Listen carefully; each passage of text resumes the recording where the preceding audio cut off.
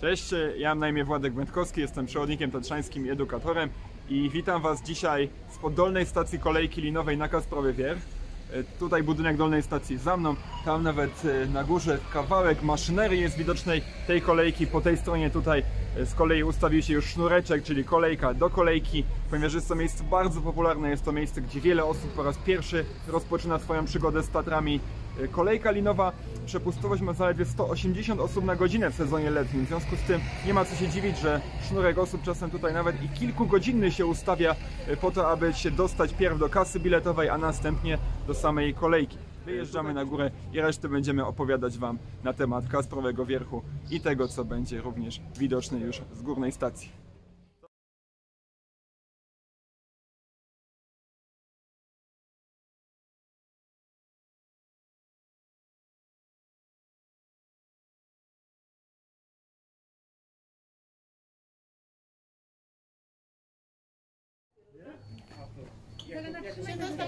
Witam serdecznie, nazywam się Maria Skupień, jestem przewodnikiem taczańskim. Właśnie dotarliśmy na górną stację kolejki linowej na Kasprowy Wierch, o czym informuje napis. Kolej z ciekawą historią, pierwsza i jedyna w Polsce em, taka inwestycja. Tutaj pomysłodawcą był Aleksander Bobkowski, ówczesny minister, wiceminister transportu, prezes Polskiego Związku Narciarstwa. E, Pomysł zakładał budowę kolei w ciągu 7 miesięcy. Żadna firma budowlana się tego nie chciała podjąć. Dlatego Aleksander Bobkowski sam powołał spółkę Lincoln Kasprowy, którą zarządzał. Zresztą był świetnym strategiem w szczytowym okresie. Pracowało tutaj tysiąc robotników na dobę, na trzy zmiany. E, I po 227 dniach oddano kolejkę e, do użytku. Historycznym wagonikiem 15 marca wjechał sam prezydent Mościcki, który zresztą był teściem e, Bobkowskiego. Zobaczcie, tutaj jesteśmy nad e, żlebem pod palcem. Ta turnia szpicasta to jest właśnie palec.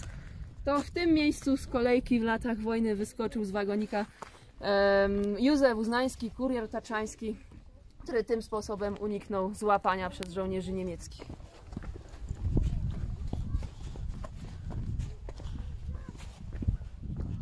Po przejściu 250 metrów jesteśmy na Suchej Przełęczy. Bardzo ciekawy widok, ponieważ stąd z Suchej Przełęczy odsłania się z jednej strony widok na Dolinę Gąsienicową wraz z przepięknymi panoramami okolic Orlej Perci, a z przeciwnej strony mamy już e, granicę i stronę słowacką i Dolina Cicha Liptowska. Sucha Przełęcz jest o tyle jeszcze ciekawą przełęczą, ciekawym miejscem, że tutaj znajduje się europejski wododział, to znaczy na polską stronę do Doliny Gąsienicowej spływa woda do Bałtyku, na przeciwną stronę do Doliny e, Cichej Liptowskiej spływa woda do Morza Czarnego. Tutaj Słucha Przełęcz jest e, też miejscem, gdzie wiele szlaków turystycznych się rozchodzi. Dla tych, którzy z Was z Kasprowego chcieliby się wybrać gdzieś dalej, stąd z Suchej Przełęczy można wyruszyć m.in. czerwonym szlakiem graniowym w okolice Świnicy. Można też zejść żółtym szlakiem na halę gąsienicową do schroniska w Murowańcu, bądź też tak jak my w naszej dzisiejszej krótkiej opowieści podążyć czerwonym szlakiem po, ponad e, Doliną Cichą Liptowską w kierunku kopuły szczytowej Kasprowego Wierchu. I to będzie